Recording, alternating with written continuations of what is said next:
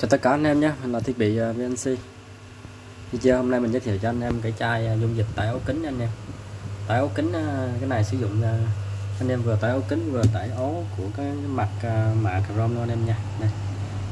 Thương hiệu là Bonnie này anh em nha Tải ống kính nha. Một chai như vậy là một lít nha anh em. Lít của giá nó là 200 ngàn một chai nha anh em. Chai một lít của nó là 200 ngàn. Tải ống kính này công dụng này anh em nha. Nhé về cái việc tạo kính thì anh em ờ, pha tỷ lệ là một năm một bảy nè anh em nha. Đó. anh em ờ, trước khi ờ, vệ sinh kính thì anh em trước trước khi tạo kính thì anh em phải vệ sinh cái kính cho nó sạch cái đã. Anh em cứ lau hết sạch bụi bẩn này kia anh em nha. Rồi sau đó anh em dùng cái dùng cái cái, cái miếng, miếng mốt này nè. Anh em thấm cái, cái dung dịch tạo kính này. Anh em nha tạo kính này thì à, anh em pha tỷ lệ à, pha với nước tỷ lệ 15 đến 17 anh em nha. Sẽ nếu anh em à, xoa đều lên anh em nha. Anh em xoa đều cái cái xoa đều cái dung dịch lên. Anh em nha. Thì ngoài cái việc tạo kính đó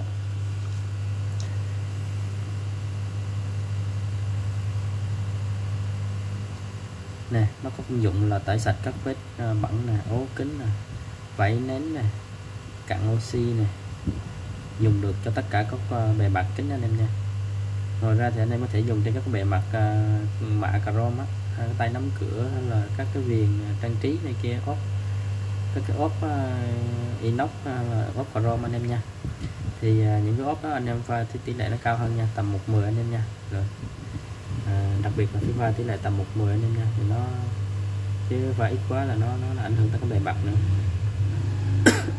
anh em nha đó đây là dung dịch tạo kính nè. Nó một chai của nó thì nó sẽ đi kèm thêm ờ, một chai của nó như thế này clip nó sẽ đi kèm kèm thêm cái, cục mốt này cho nên ờ, vệ sinh này anh em nha. Rồi thì à, nó có hướng dẫn anh em sử dụng rồi về việc anh em chỉ việc là là, là vệ sinh thôi nó đơn giản thôi anh em nha. Thì à, mình giới thiệu cho anh em ờ, về cái dung dịch tại ống kính à, chai thể tích là một lít giá 200 ngàn anh em nha. Anh em nào mua thì liên hệ mình nha là thiết bị VNC Zalo là 0911 600 357 nha anh em chào tất cả anh em nha hẹn gặp anh em ở video tiếp theo nha.